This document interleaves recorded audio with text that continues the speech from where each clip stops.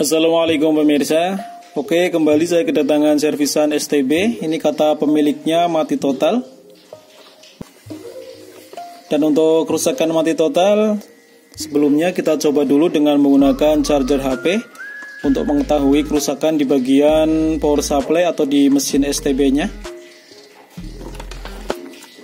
Untuk mencobanya kita gunakan jack seperti ini ya.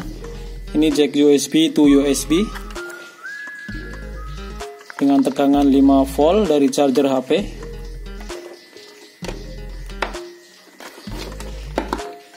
kita colokin dulu.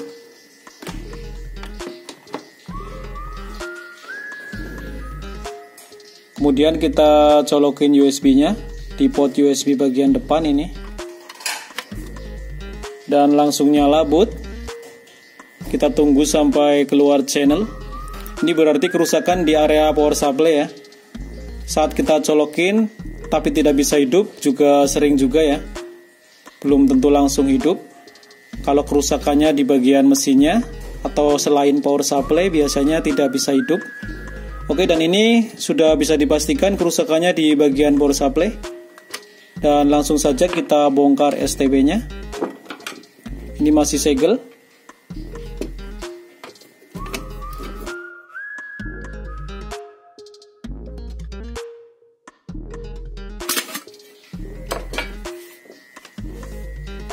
Oke langsung bisa kita lihat untuk elko bagian power supply ternyata rusak ini ya.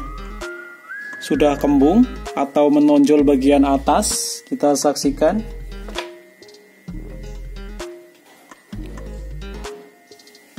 Jika elko sudah menonjol bagian atas seperti ini Atau kembung Sudah bisa dipastikan elko-nya rusak Tidak perlu kita cek. Namun ada pula kerusakan elko yang bodinya masih baik, jadi jangan hanya terfokus di bodi elko, namun ada juga kemungkinan elko masih mulus atau bodinya masih bagus pun bisa rusak juga ya. Oke langsung kita lepas dulu elkonya.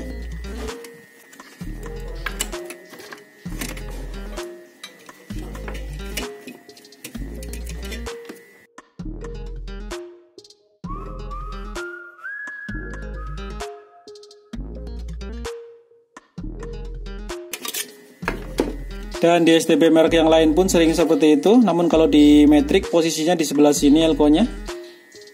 Biasanya elko kembar yang nilainya 470 mikrofarad 16 volt. Namun di Golsat Sonic ini elko-nya nilainya 1000 mikrofarad 16 volt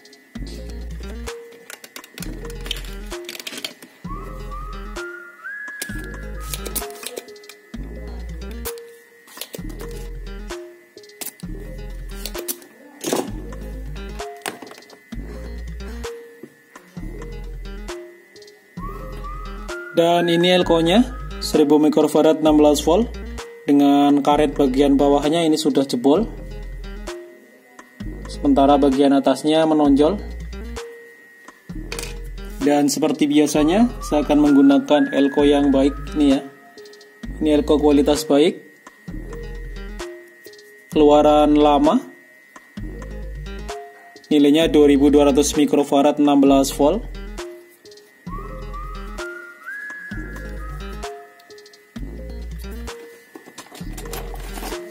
Ini kakinya kotor sekali, kita bersihkan dulu.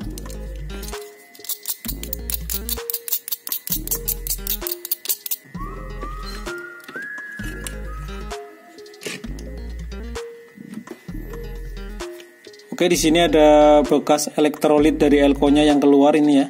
Kita bersihkan dulu.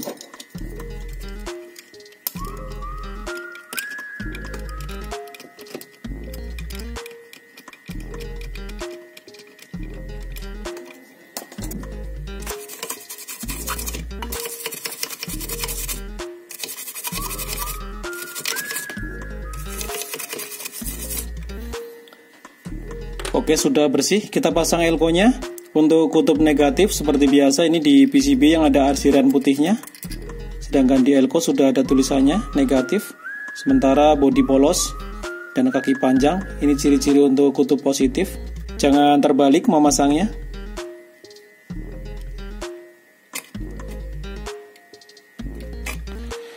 dan supaya tidak nempel di bodi ini ke atas mentok di bodi ya karena bodi elko ini besar. Kita tekuk ke sana.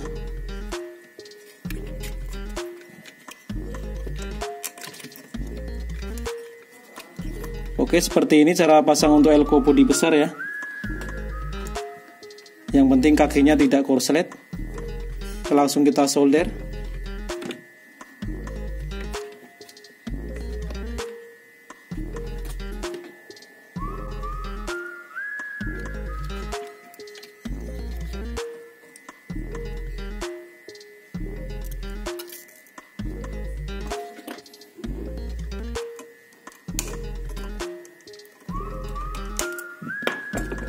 sudah kita potong kakinya.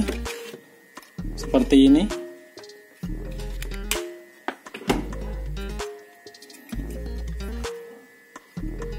Langsung saja kita coba tanpa memasang di boxnya dulu. Nanti kalau sudah jadi baru kita pasang. Oke seperti ini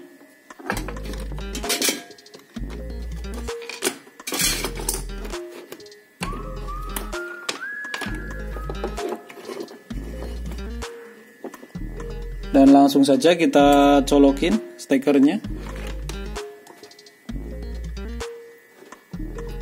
Oke STB langsung nyala. Dan ini sudah jadi. Kerusakan hanya di elko ini seperti biasanya ya. Sudah sering sekali sampai lupa menghitungnya. Oke cukup sekian video saya untuk kali ini. Semoga ada manfaatnya. Wassalamualaikum warahmatullahi wabarakatuh